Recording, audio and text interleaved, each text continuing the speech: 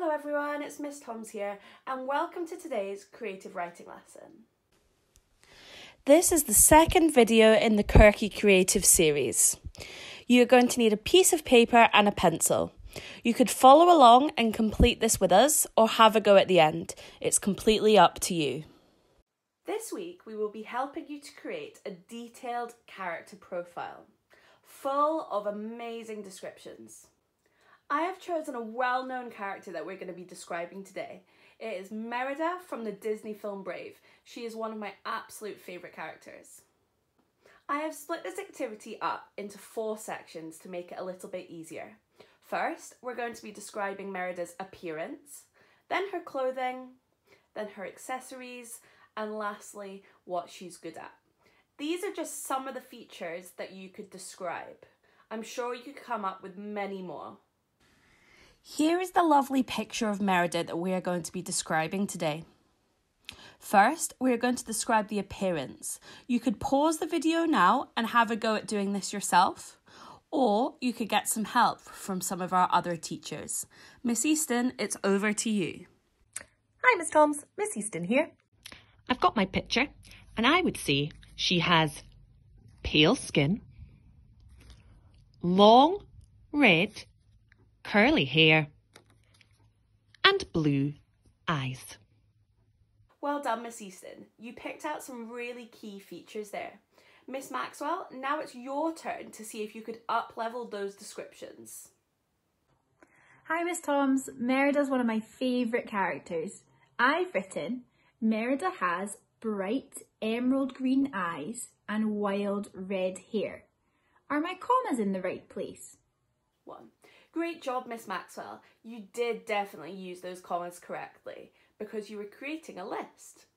Now it's time for Miss Airlie to give this a go.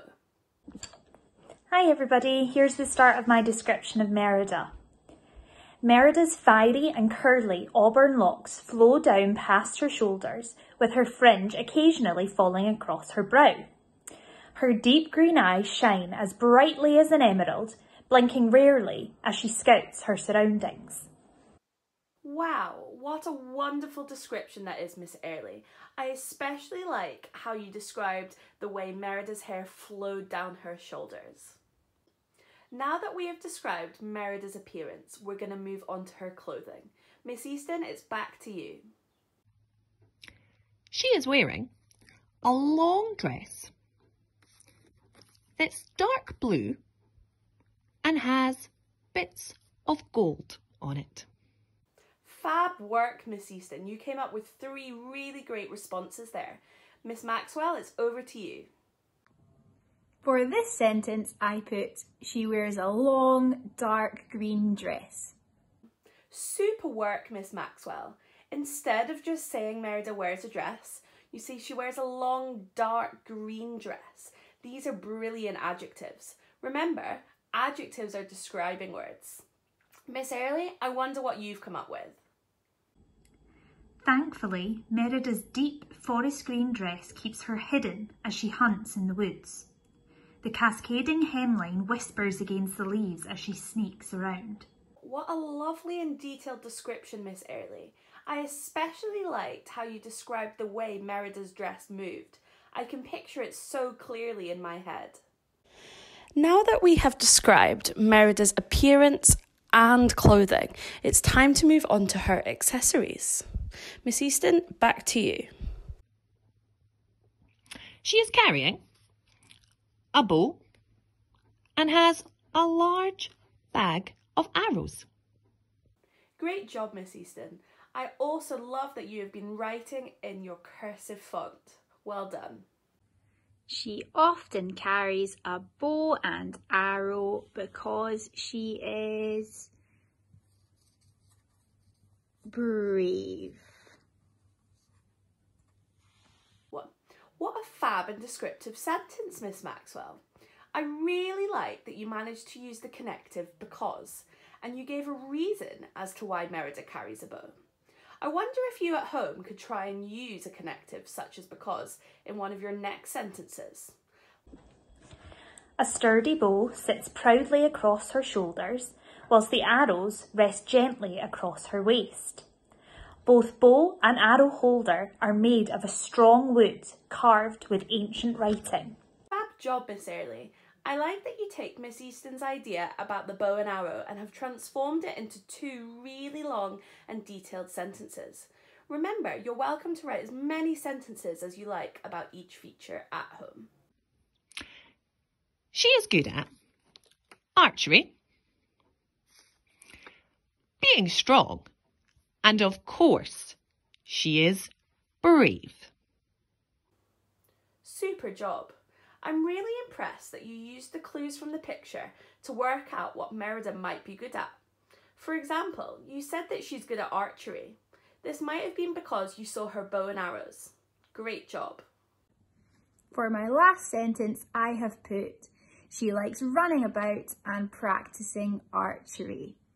Thanks so much for helping me today. Super work. I really like that you used Miss Easton's basic sentences and up-leveled them by adding in more description. Miss Airlie, it's over to you.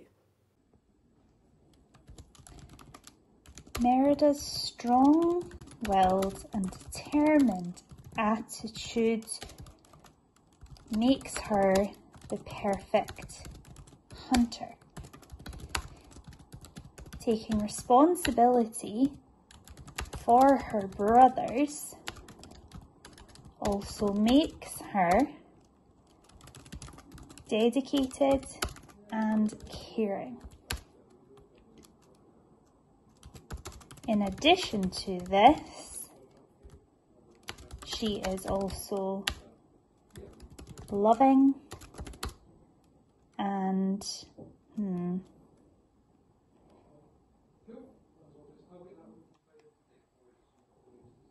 trustworthy. Impressive work, Miss Airlie. You have painted such a wonderful picture of Merida as a person.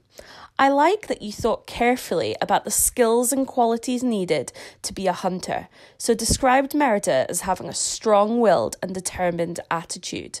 Fab work! If you enjoyed this activity today, why not have another go and do it for a different character?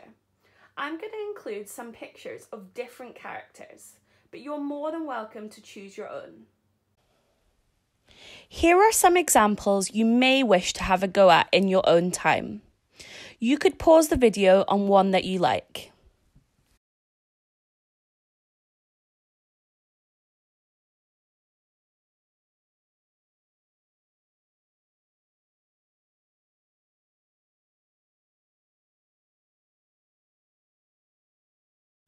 Another idea, once you've completed a character profile, why not try write a creative story about them?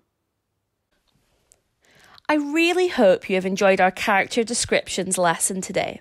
You can share your work with us if you wish using the hashtag KirkyCreative on the school's Twitter page at KirkListonPS. Thanks so much for joining us today. We all hope you enjoyed it. Hope to see you again soon. Bye for now.